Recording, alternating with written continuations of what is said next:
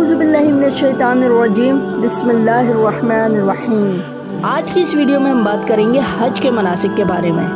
हज का आगाज़ मर्दों के लिए दो सफ़ेद चादरों और औरतों के लिए एक सादा सा लिबास पहनने से होता है, जिसे एहराम कहते हैं। नबी करीम सल्लल्लाहु अलैहि वसल्लम के बयान करदा मखसूस मकाम जिन्हें मिकात कहा जाता है, वहाँ से एहराम बांधा जाता है और हज या उम्र की नीयत भी की जाती है। और उसके बाद हज के मुख्तलिफ़ इबादत अंजाम दी जाती हैं, जिन्हें मनासिक हज कहा जाता है।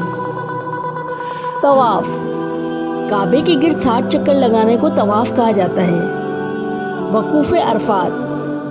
अरफात एक जगह का नाम है, जहाँ नौ जिलहज को रुकना ज़रूरी होता है, जिसे वकूफ़ अरफात कहते हैं। और अरफात में हजाज कराम, जहर और असर की नमाज़ एक साथ ही अदा करते हैं।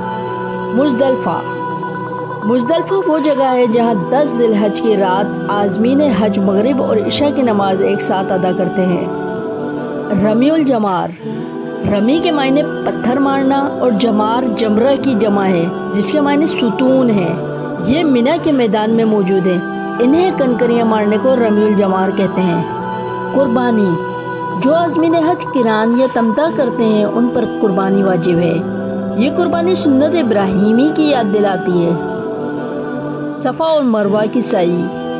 सफ़ा और मरवा दो पहाड़ियों के नाम हैं, जिनके दरमियान हज और उम्र के दौरान तवाफ़ के बाद सात चक्कर पूरे किए जाते हैं। अल्लाह ताला की तरफ़ से हज फ़र्ज़ है, जिसमें इंसान जानी, माली और रूहानी लिहाज से तमाम इबादत की अदायगी का शर्फ हासिल करता है। अल्लाह ताला के सामने आजी का इजहार करता है। हज में तमाम गोरे और काले अरब और अजम वगैरह बिला तफरीक बारगाह लाही में हाजिर होते हैं। और ये अमल इंसानी मसावत का सबूत है। और इसके ज़रिए दुनिया भर में लोग एक दूसरे से वाकिफ़ होते हैं और एक दूसरे के हालात से भी वाकिफ़ होते हैं। और मुख्तलिफ़ ममालिक की अशिया की तजारत इस्लामी अखवत और भाईचारा और दुख दर्द का भी इलम होता है। अल्लाह ताला हमें भी तोफ़ी दे कि हम हज की शहादत हासिल कर सकें। आमीन।